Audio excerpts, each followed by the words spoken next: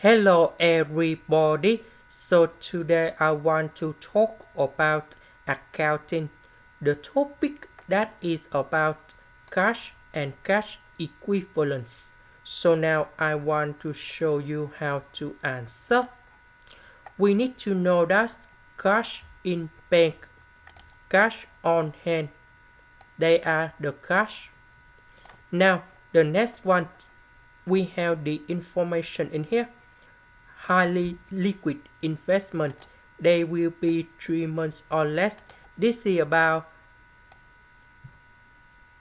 the cash equivalent because they can convert the money in the short time. On the next one, we see that stock investment will be shown in the next 6 or 12 months. This is very long to convert the cash. And the next one, the plant expansion that will begin in three years. That is so long to convert the cash. So in this situation we have cash equivalent. And the next one we have the petty cash. And this one we cannot use this one in here. And we can use this one in here.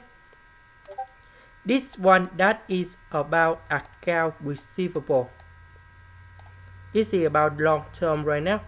So we just sum for you items in here. And you will have about 105,840 and this is the final answer we can write in here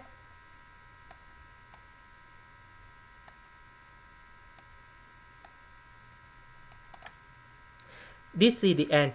Thank you for watching.